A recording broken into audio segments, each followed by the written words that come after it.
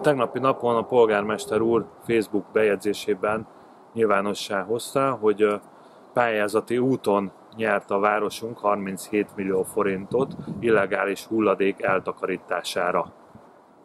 Nagyon örvendünk ennek a hírnek, és itt szeretném megragadni azt az alkalmat, hogy felhívjam a város vezetését a következő két dologra. Egyrészt szeretnénk azt, hogyha a városi illegális hulladékot azt nem a civilek takarítanák el, és ö, alapítványon keresztüli fizetése, ö, fizetésével oldanák meg, hanem a városüzemeltetés által vezetett ETH-n keresztül.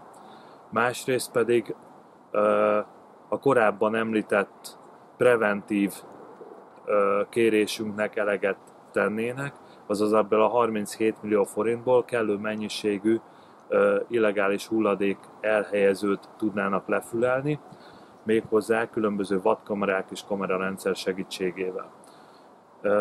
Hiszen célunk nem az, hogy folyamatos pályázati pénzekkel próbáljuk kitakarítani a város illegális szemetét, hanem az, hogy a bűnözők, akik elkövetik ezt az illegális hulladék elhelyezést, azok fizessék meg azt a kárt, amit okoznak a, vár- a környezetünknek és a városunknak. Szeretnénk felszólítani a városvezetést, hogy ezeknek tegyen eleget, és tegyen meg mindent a környezetünk megóvása érdekében. A mi hazánknak fontos a környezetünk védelme.